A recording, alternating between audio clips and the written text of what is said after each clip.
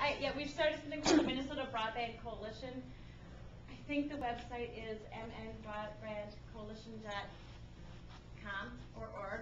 Uh, but it's really, a- thank you. I knew I'd like to. Uh, it- really, it's kind of an ad hoc group of citizens who are interested in more, better, bigger broadband, particularly for rural Minnesota, so that that we have, so that you can take advantage of all these different tools. So it's, And speaking of tools, a paper tool, Matt from Blandin handed these out, and they're on the table there, online engagement planning guide, so that you can think strategically about what kind